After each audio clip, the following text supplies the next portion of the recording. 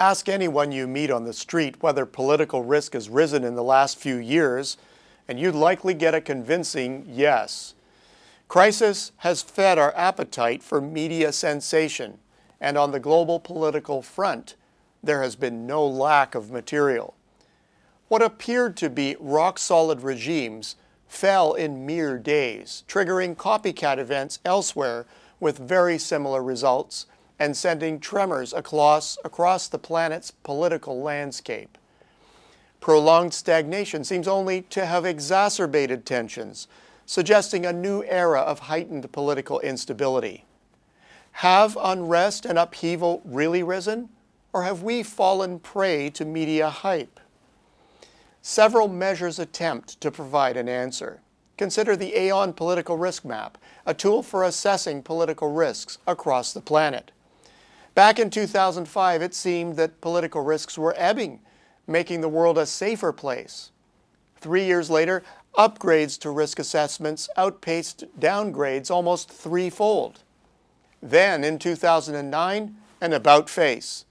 Not only did downgrades outpace upgrades, but a new very high risk category was created. By 2012, there were seven times more downgrades than upgrades. Now, things got better in 2013, but briefly. This year is again tilted deeply toward downgrades, with each of the BRICS countries negatively affected. Further evidence is provided by the Global Business Barometer.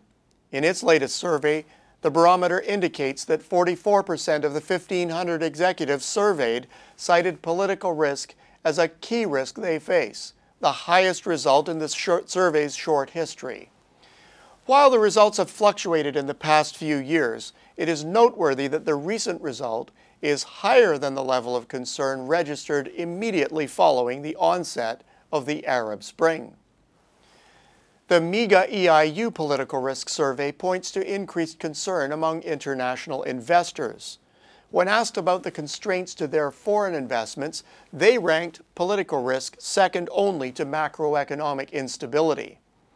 This is substantiated by a reference to the UNCTAD World Investment Report, which has been recording disputes between investors and states since the mid 1980s. The number has surged in that time from almost no activity to 50 to 60 new disputes annually. 10 years of data in the Fragile State Index indicate a disturbing trend. Since 2005, the number of states in the high alert and very high alert categories more than doubled. This index measures the degree of control a state has over its territory and the ability of the government to implement policies and provide reasonable public services. I'll put these indices together and a general picture of increasing political risk emerges. Our hybrid index is up by over 50% since 2005, a dramatic increase that, if sustained, paints a scary picture for future international transactions.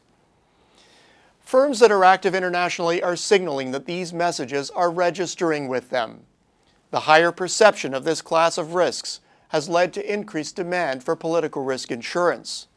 Well, this suggests that the increased concern is not necessarily inhibiting international activity, but that firms are still active and desiring to mitigate their risks through available financial instruments. If this is indeed the attitude, it's a relief. International investment flows are a critical piece of the evolving global trade landscape. As the world gets back to the business of growing, international investments are not just expected to resume, but to grow more intense for normal reasons like access to resources, lucrative markets, production clusters, and research and development centers, but also now for access to large pools of labor. Although the rising risk trend is clear, there is still not enough data to conclude that the change is actually structural and will be sustained into the future. Sure, the ability to mass organize is unprecedented thanks to communication technology. But another well-known driver of dissent is prolonged economic weakness.